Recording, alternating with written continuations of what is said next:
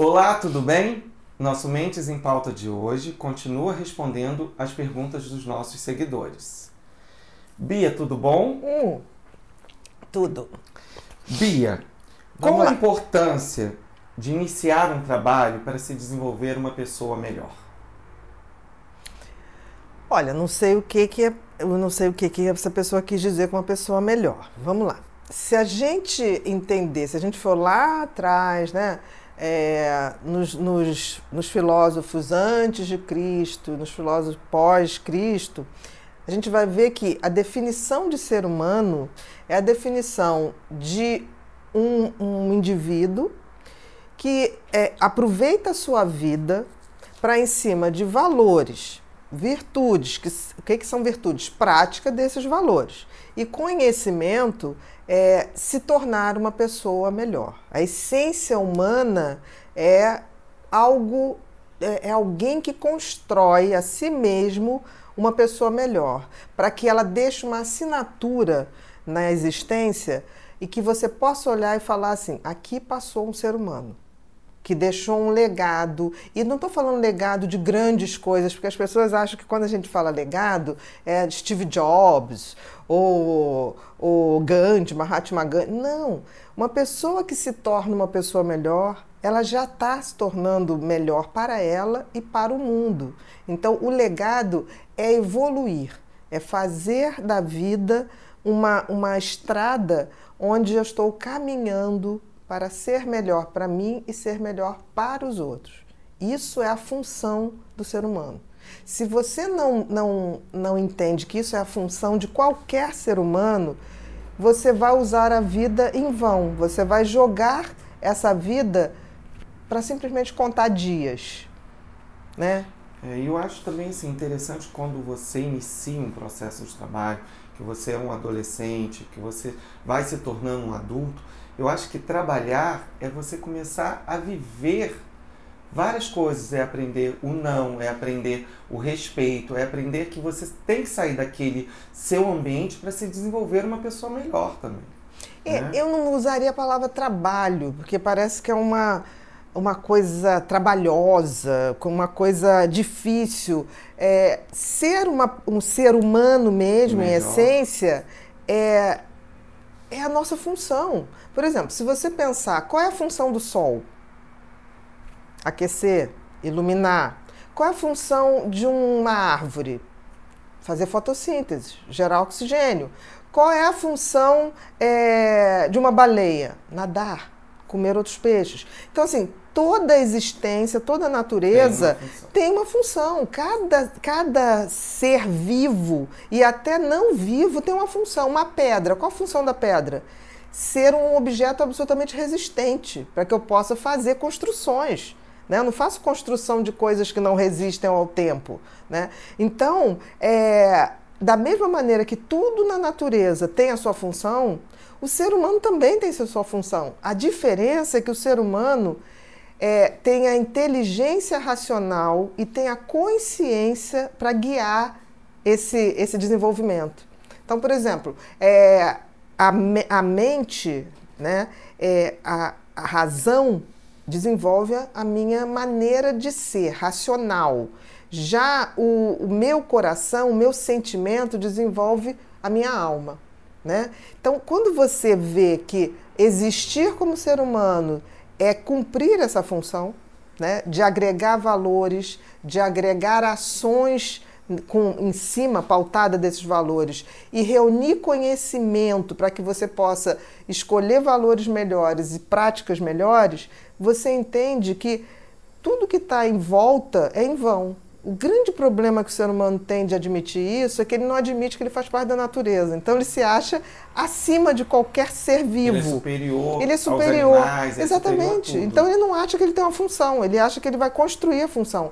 Eu acho que a gente pode até construir a função, mas não podemos deixar de ser seres humanos.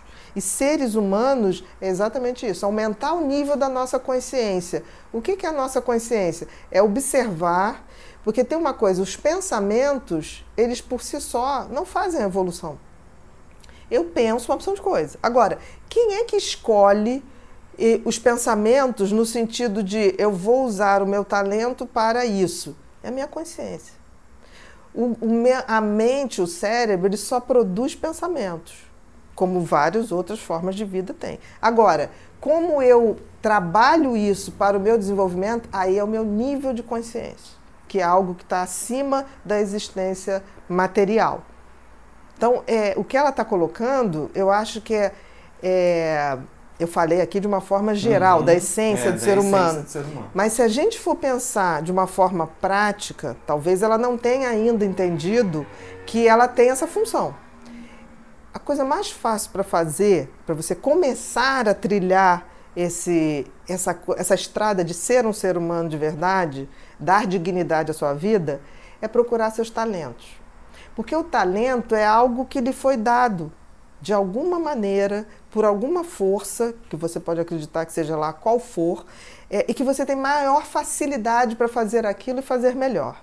Se você escolhe os seus talentos, identifica seus talentos e bota ele a serviço da sua existência, você está dando sentido à vida. Você está dando sentido à sua existência através dos seus talentos. E se você pega isso e faz como propósito de vida fazer o seu talento também atingir outras pessoas de forma positiva, aí você está fechando uma, uma, um ciclo onde certamente você vai dar dignidade ou vai fazer valer essa sua essência humana, com certeza.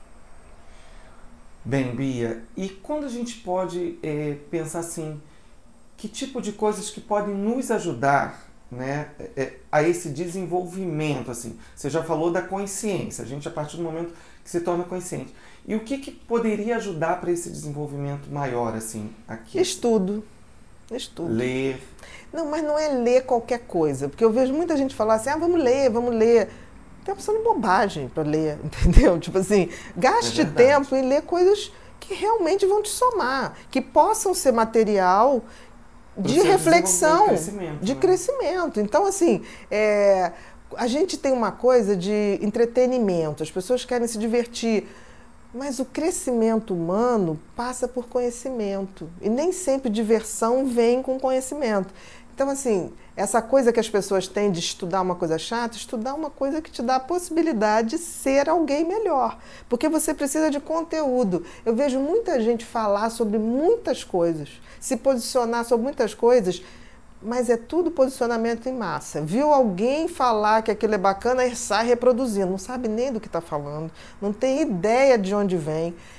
E não tem como a gente tentar ser um ser humano melhor sem beber na água de pessoas que vieram antes da gente e já fizeram isso.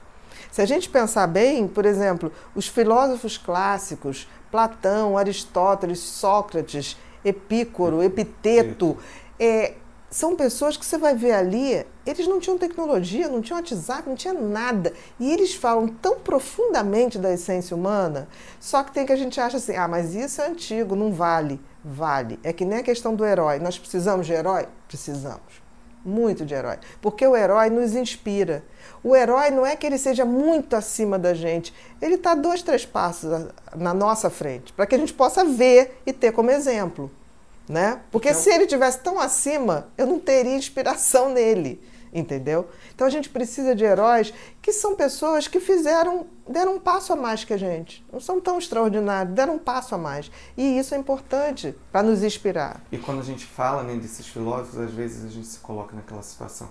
Ai, se, se a gente parar e pensar, tudo que eles falaram naquela época, se a gente trazer de repente, de uma linguagem mais fácil, que eu acho que é o que falta, essa interpretação, você vai perceber que tudo acontece e tudo tem que acontecer. Né? É, talvez a linguagem seja um pouco mais hermética, mais fechada, porque se falava de outra maneira, né, naquela época. Mas sempre tem, e hoje com, o conhecimento da, da internet, você tem pessoas maravilhosas falando sobre filosofia é, de forma agradável que você possa entender. Se você não entender, é, se entender o autoconhecimento e não entender o conhecimento do ser humano, porque o ser humano está aqui há muito, muito, 200 mil anos, como Homo sapiens. Se você não estudar um pouco disso, você não vai entender é, de você, porque você descende disso.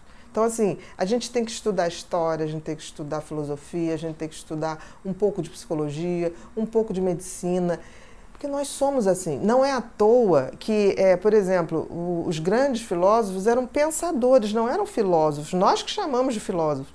Porque se você for ver, é, por exemplo, Newton, Newton estudava, era filósofo, era cientista, era físico. É, você vai a Leonardo da Vinci, gastronomia, engenharia. As pessoas, é, como não tinham tanto entretenimento, as pessoas estudavam mais. Os grandes gênios se fizeram quando não tinha distrações, entendeu? Então, hoje a pessoa acha que vai estudar, ah, você é engenheiro, então não vou estudar mais nada, como se isso fosse um grande peso. Não é.